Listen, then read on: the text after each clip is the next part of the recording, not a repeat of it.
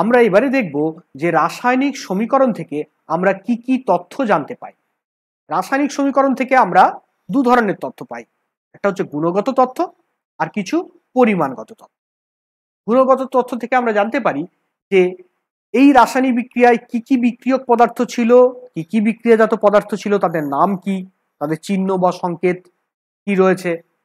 বিক্রিয়ক বিক্রিয়ায় যদি কোনো যৌগিক পদার্থ উপস্থিত থাকে, তাহলে তার মধ্যে উপস্থিত মৌলের নাম ও চিহ্ন আমরা রাসায়নিক সমীকরণ থেকে জানতে পারব। পরিমাণগত তথ্য জানা যায়। প্রথমেই আমরা দেখতে পাবো যে বিক্রিয়ক এবং বিক্রিয়াজাত পদার্থের অণু এবং পরমাণুর সংখ্যা কি কি রয়েছে। এছাড়া রয়েছে বিক্রিয়ক বিক্রিয়াজাত পদার্থের ওজনের অনুপাত কেমন? আরেকটি কথা অবশ্যই মাথায় রাখতে হবে যে বিক্রিয়ক এবং বিক্রিয়াজাত পদার্থ তারা যদি গ্যাসীয় হয়, তাহলে সম চাপ উষ্ণতায় তাদের আয়তনগত অনুপাতও এখান থেকে জানা সম্ভব। আমরা একটি উদাহরণ নিয়ে দেখি যে কি কি তথ্য আমরা পেতে পারি। আমরা এইচ টুও বা জলের যে বিক্রিয়াটি তার সমতা বিধান করেছিলাম, তাতে পেয়েছিলাম টু এইচ টুও সমান two H two plus O two এখান থেকে কি তথ্য আমরা জানতে পাচ্ছি? এখানে বিক্রিয়ক পদার্থ হচ্ছে এইচ টু বা জল বিক্রিয়া জাত পদার্থ হচ্ছে এইচ টু হাইড্রোজেন এবং ও টু অক্সিজেন। অর্থাৎ এদের নাম এবং সংকেত আমরা জানতে পেরেছি। এখানে বিক্রিয়ক পদার্থটি যৌগিক পদার্থ, এর মধ্যে উপস্থিত মৌলিক পদার্থগুলি হলো হাইড্রোজেন এবং অক্সিজেন। এখন দেখা যাক পরিমাণগত তথ্য কি রয়েছে। তাহলে এখানে দেখো, আমরা দেখতে পাচ্ছি বিক্রিয়ক ও বিক্রিয়াজাত পদার্থের অণুর সংখ্যা প্রথমে জানতে পাচ্ছি। এখানে জলের দু অণু বিক্রিয়ায় অংশগ্রহণ করেছে। তার ফলে বিক্রিয়াজাত পদার্থ হিসাবে দু অণু হাইড্রোজেন এবং এক অণু অক্সিজেন উৎপন্ন হয়েছে। আমি যদি এদের ওজনগত অনুপাত বার করতে চাই, তাহলে প্রথমেই আমাদের পারমাণবিক গুরুত্ব জানতে হবে। হাইড্রোজেনের পারমাণবিক গুরুত্ব এক এবং অক্সিজেনের পারমাণবিক গুরুত্ব ষোলো। এই পারমাণবিক গুরুত্বগুলিকে ব্যবহার করে আমি যদি জল এইচ টু ও ও আণবিক গুরুত্বগুলি বার করি, তাহলে দাঁড়ায় টু এইচ টু ওর জন্যে। যেহেতু এখানে অনুর সংখ্যা দুই, আমরা একটু লক্ষ্য করে দেখবে যে আমরা কালার কোড ব্যবহার করেছি অনুর সংখ্যাকে আমরা হলুদ রং দিয়ে এবং একটি অনুর মধ্যে পরমাণুর সংখ্যাকে আমরা আকাশি রং দিয়ে এবং পারমাণবিক গুরুত্বগুলিকে আমরা এখানে লাল রং দিয়ে লিখেছি। তাহলে টু এইচ টু ওর জন্যে আমরা যদি আণবিক গুরুত্বটি বার করি, তাহলে কি দাঁড়ায়? এখানে অনুর সংখ্যা দুই রয়েছে, তাই আমরা দুই দিয়ে গুণ করেছি। এবারে একটি অনুর আণবিক গুরুত্ব আমরা বার করব।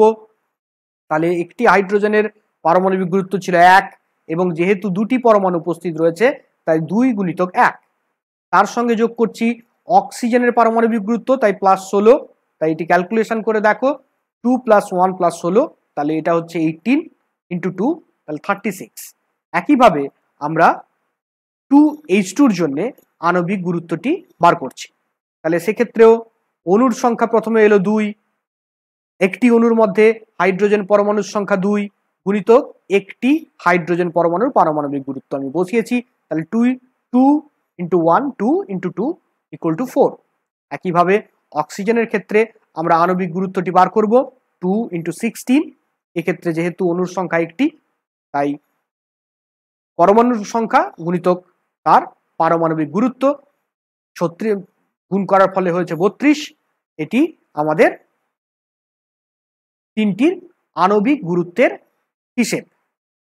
এখন এই তিনটি আণবিক গুরুত্বের আমরা যদি ওজনগত অনুপাত গ্রহণ করি, তাহলে H two O is to H two is to O two সমান nine is to one is to eight তাহলে এই রাসায়নিক বিক্রিয়ায়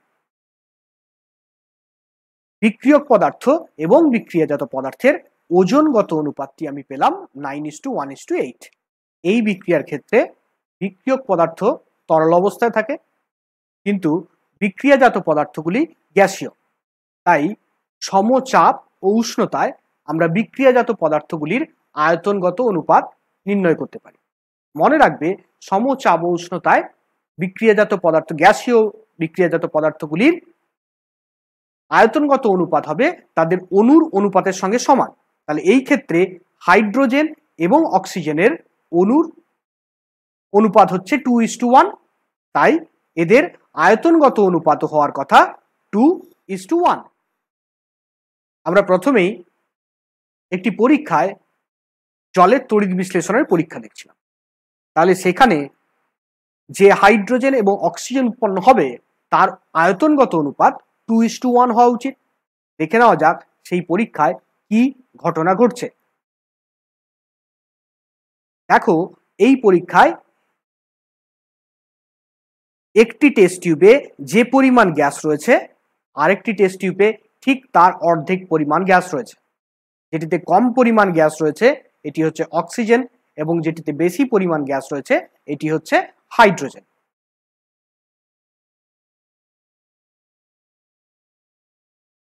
আরেকটি বিক্রিয়া দেখা যাক C plus O two CO two আমরা খুবই সংক্ষেপে তোমাদের বলে দিয়ে যাচ্ছি যে এখানে কি কি তথ্য আমরা পাচ্ছি।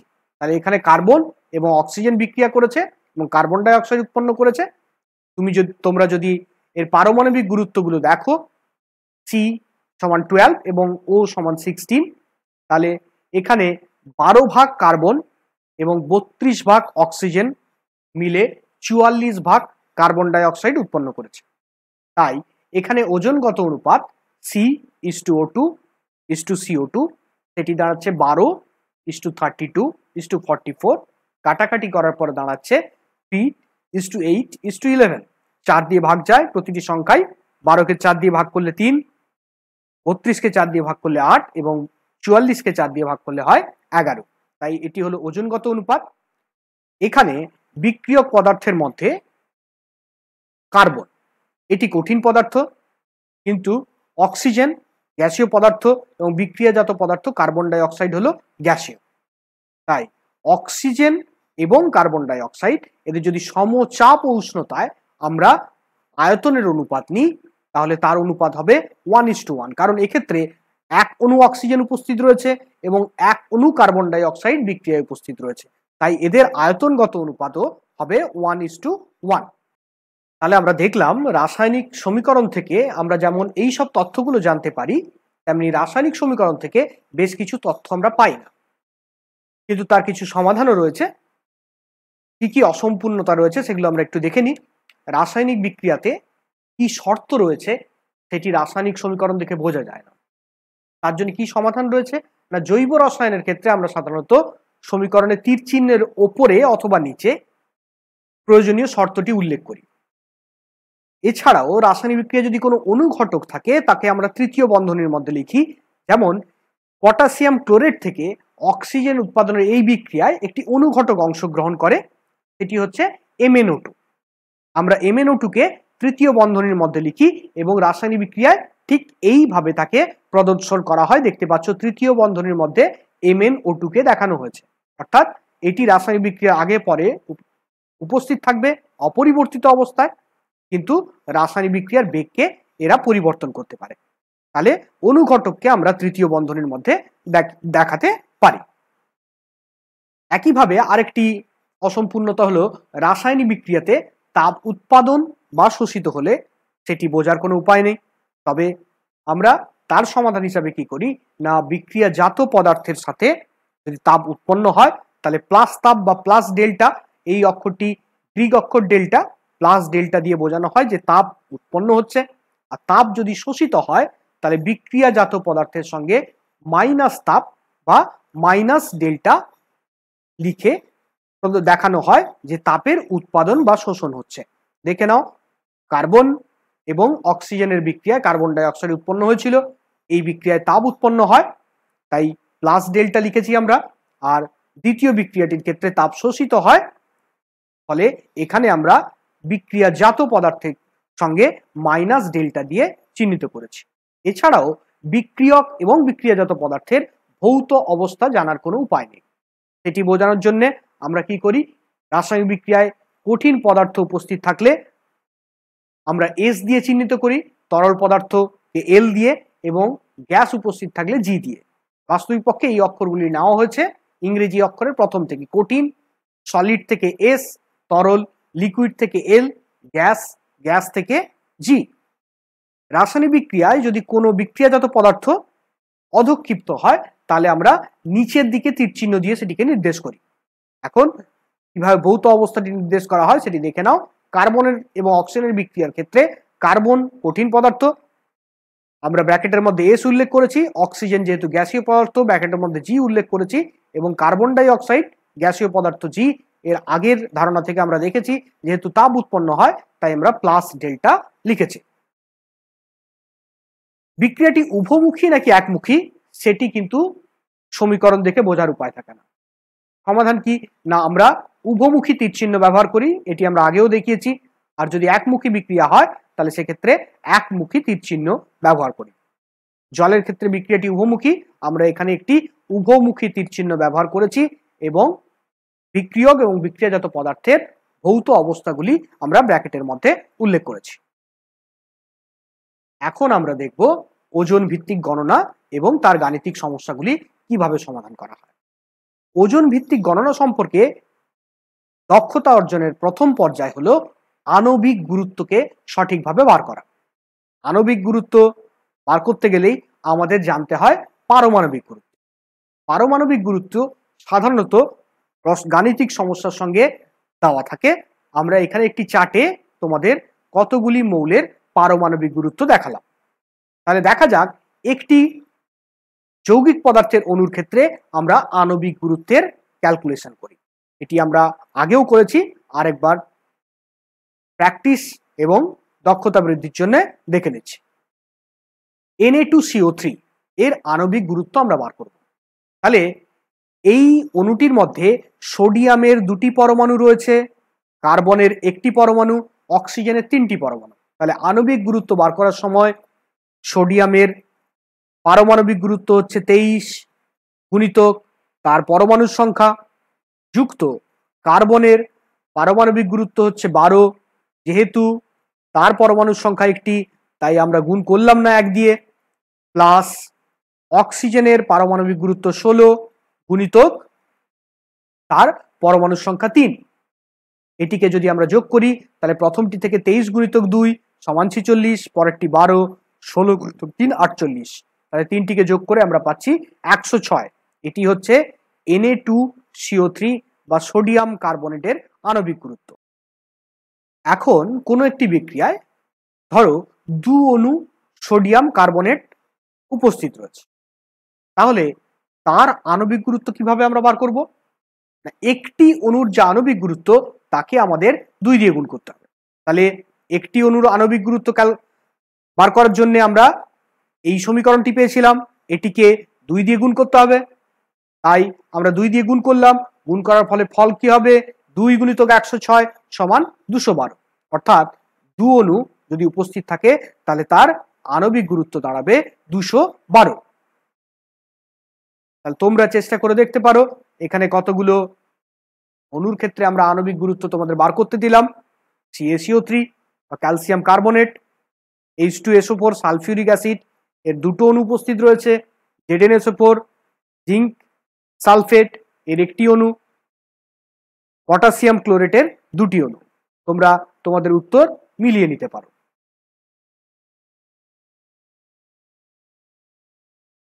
ওজন ভিত্তিক গণনা করার জন্য আমাদের কি কি ধাপ অবলম্বন করতে হবে? প্রথমেই ওজন ভিত্তিক গণনা করার জন্য যে বিক্রিয়াটি আমাদের থাকবে, তার সমীকরণটি সমিত অবস্থায়, অর্থাৎ সমাধান বিধান করে সঠিকভাবে লিখতে হবে। দু নম্বর ধাপে প্রয়োজন অনুসারে বিক্রিয়ক এবং বিক্রিয়াজাত পদার্থের ওজনগত পরিমাণগুলি তার আণবিক গুরুত্ব ব্যবহার করে আমাদের হিসেব করে সেই পদার্থটির তলায় লিখতে হবে। প্রয়োজন অনুসারে কেন? যে বিক্রিয়ক বিক্রিয়াজাত পদার্থগুলি অঙ্কের সঙ্গে সংযুক্ত থাকবে, শুধুমাত্র তাদের ওজনগত পরিমাণ বার করলেই চলবে। সমস্ত বিক্রিয়ক বিক্রিয়াজাত পদার্থের ওজনগত পরিমাণ বার করতে হবে এমন কোনো বাধ্যবাধকতা নেই। আমরা যখন গাণিতিক সমস্যা দেখব তখন এই বিষয়টি আরও ভালোভাবে পরিষ্কার হবে। তিন নম্বর, গণনায় সবসময় একই একক ব্যবহার করতে হবে। অর্থাৎ প্রতিটি বিক্রিয়ক এবং বিক্রিয়াজাত পদার্থে যেহেতু আমরা আণবিক গুরুত্ব বার করছিলাম, তাই সেক্ষেত্রে আণবিক গুরুত্ব যেহেতু এককহীন রাশি, তাহলে তাকে যদি আমি গ্রামে বা কিলোগ্রামে যে কোনো একটি একক ব্যবহার করেই আমাকে সমস্ত গণনার কার্যটি করতে হবে। আচ্ছা ক্ষেত্র অনুসারে যে তথ্য দেওয়া থাকবে, সেখান থেকেই আমাকে প্রয়োজনীয় তথ্য নির্ণয় করতে হবে। তাহলে এই চারটি ধাপে আমরা ওজন ভিত্তিক গাণিতিক সমস্যাগুলোর সমাধান করব। দেখা যাক, প্রথম গাণিতিক সমস্যা আমাদের সামনে কি রয়েছে। এখানে দেওয়া রয়েছে উনিশ পয়েন্ট দু গ্রাম অক্সিজেন তৈরি করতে কত গ্রাম পটাশিয়াম ক্লোরেট প্রয়োজন হয়। তাহলে প্রথমেই আমাদের জানতে হবে যে পটাশিয়াম ক্লোরেট থেকে অক্সিজেন তৈরির রাসায়নিক বিক্রিয়াটি কি এবং তার সমীকরণ কি হবে। আমরা আগে এই বিক্রিয়াটি তোমাদের সামনে দেখিয়েছিলাম যে পটাশিয়াম ক্লোরেট থেকে অক্সিজেন তৈরি করতে গেলে একটি অনুঘটকের উপস্থিতিতে বিক্রিয়াটি ঘটে। সেই বিক্রিয়াটি ছিল টু কেসিএলও থ্রি প্লাস অনুঘটক হিসাবে এমএনও টু উপস্থিত ছিল। বিক্রিয়াজাত পদার্থ হিসাবে উৎপন্ন হয়েছিল two KCL plus CO two আর অবিকৃত অনুঘটক এমএনও টু এখন ওজন ভিত্তিক গণনার ক্ষেত্রে যেহেতু এমএন ও টুর কোনো গুরুত্ব নেই বা তার কোনো রাসায়নিক পরিবর্তন ঘটছে না, তাই ওজন ভিত্তিক গণনার রাসায়নিক সমীকরণে অনুঘটক পৃথকভাবে না দেখালেও চলবে। অর্থাৎ আমাদের রাসায়নিক বিক্রিয়াটি দাঁড়াবে এই অবস্থায়। টু কেসিএল থ্রি সমান two KCL plus three O two লক্ষ্য করে দেখো, আমি সমতা বিধান করেই সমীকরণটি লিখেছি। দ্বিতীয় কাজে, তাহলে এখানে কোন কোন পদার্থের আণবিক গুরুত্ব থেকে আমাদের আণবিক ওজনগুলি বার করতে হবে? দেখে নাও, প্রশ্নে রয়েছে অক্সিজেনের কথা এবং পটাশিয়াম ক্লোরেটের কথা। অর্থাৎ এখানে কেসিএল এর আণবিক ওজন আমাদের প্রয়োজন নেই। তাই কেসিএল এর আণবিক গুরুত্ব থেকে আণবিক ওজন আমরা বার করব না। চলে এসো, আমরা প্রথম টু কেসিএলও থ্রির আণবিক ওজনটি বার করি। তাহলে এবারে দেখো, আমরা আণবিক ওজন, আণবিক গুরুত্ব থেকে আগেই বার করেছি। তাহলে সেখানে অনুর সংখ্যা হিসেবে টু কে তার পারমাণবিক গুরুত্ব হচ্ছে থার্টি নাইন সিএল তার পারমাণবিক গুরুত্ব হচ্ছে thirty five point five oxygen যেহেতু তিনটি পরমাণু রয়েছে, তাই থ্রি ইন্টু সিক্সটিন এই সমস্ত কিছু যোগ করে এবং দুই দিয়ে গুণ করে আমরা পাই দুশো পঁয়তাল্লিশ। এবার চলে এসো অক্সিজেনের আণবিক গুরুত্ব এবং আণবিক ওজনের হিসেব। O two two into sixteen এটি যদি অক্সিজেনের আণবিক গুরুত্ব হয়, তাহলে তিনটি অনুপস্থিত রয়েছে, তাহলে three into two into sixteen তাহলে সব মিলিয়ে হচ্ছে নাইনটি সিক্স এইবারে তাহলে সমীকরণ থেকে কি পেলাম? ছিয়ানব্বই গ্রাম অক্সিজেন তৈরি করতে দুশো পঁয়তাল্লিশ গ্রাম কেসিওলো থ্রি প্রয়োজন।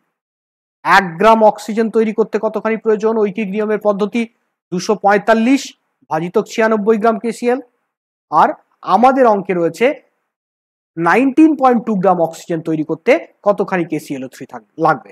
তাহলে nineteen point two gram oxygen তৈরি করতে দুশো পঁয়তাল্লিশ বাই ছিয়ানব্বই ইন্টু উনিশ পয়েন্ট দুই গ্রাম কেসিএলও থ্রি প্রয়োজন। এটিকে যদি তুমি সমাধান করো, তাহলে দেখতে পাবে আসবে উনপঞ্চাশ গ্রাম। দ্বিতীয় গাণিতিক সমস্যায় চলে যাওয়া যাক। এখানে রয়েছে পাঁচশো গ্রাম ক্যালসিয়াম কার্বনেট প্রস্তুত করতে কত গ্রাম কার্বন ডাই অক্সাইডকে চুন জলে চালনা করতে হবে? এখানে ক্যালসিয়াম, কার্বন এবং অক্সিজেনের পারমাণবিক ভরগুলি অঙ্কের সঙ্গে দেওয়া রয়েছে। তাহলে আমরা প্রথমেই রাসায়নিক বিক্রিয়াটি লিখেছি। চুন জলের রাসায়নিক সংকেত CA OH whole two calcium hydroxide তার সঙ্গে কার্বন ডাই অক্সাইড চালনা করা হয়েছে। চালনা করার ফলে পাওয়া গেছে ক্যালসিয়াম কার্বনেট সিএসিও থ্রি এবং জল। তাহলে আমাদের কোন কোন রাসায়নিক পদার্থগুলির ওজন এর গণনা করতে হবে? চলে এসো দেখো, অঙ্কে রয়েছে ক্যালসিয়াম কার্বনেট আর কার্বন ডাইঅক্সাইড অর্থাৎ এখানে সিএওইচ হোল টু এবং এইচ টু ওর ওজন ভিত্তিক গণনা করার কোনো প্রয়োজন নেই। অর্থাৎ শুধুমাত্র কার্বন ডাইঅক্সাইড এবং সিএসিও থ্রির ওজন ভিত্তিক গণনা আমরা করব। তোমরা যদি ওজন ভিত্তিক গণনা করো, তাহলে দেখবে কার্বন ডাইঅক্সাইডের আণবিক ওজন বেরোবে চুয়াল্লিশ গ্রাম এবং সিএসিও থ্রির ক্ষেত্রে ওজন বেরোবে একশো গ্রাম। সমীকরণ থেকে তাহলে আমরা কি পাচ্ছি? একশো গ্রাম সিএসিও থ্রি তৈরি করতে চুয়াল্লিশ গ্রাম সিও টু চালনা করতে হয়। আমাদের সিএসিও থ্রি তৈরি করতে হবে পাঁচশো গ্রাম। অর্থাৎ ঐকিক নিয়মে যদি বসাই, এক গ্রাম সিএসিও থ্রি তৈরি করতে চুয়াল্লিশ বাই একশো গ্রাম সিও টু চালনা করতে হবে, পাঁচশো গ্রাম করতে চুয়াল্লিশ বাই একশো গুণিত পাঁচশো গ্রাম সিও টু চালনা করতে হবে। তাহলে এটিকে যদি ক্যালকুলেশন করো, তাহলে তার উত্তর আসে দুশো কুড়ি গ্রাম।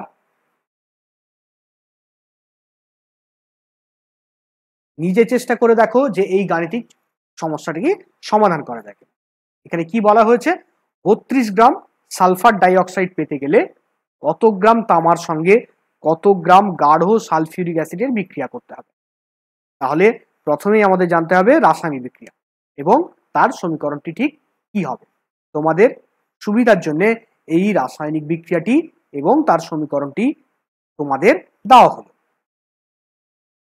তাহলে CU plus H two SO four কারণ বলা হয়েছিল গাঢ় সালফিউরিক অ্যাসিডের সঙ্গে তামার বিক্রিয়া হয়েছে তাতে উৎপন্ন হয় সিউ এসও ফোর জল এবং এসও টু এসও টু অর্থাৎ সালফার ডাইঅক্সাইড আমাকে পেতে হবে বত্রিশ গ্রাম।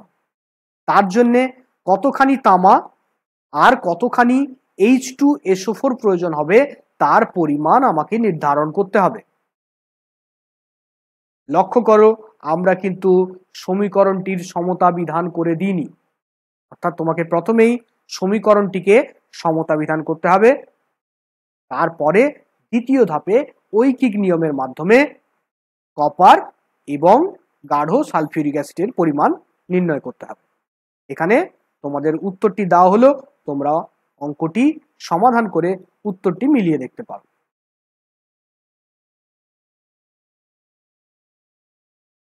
আরও কিছু গাণিতিক সমস্যা তোমাদের সামনে তুলে ধরছি।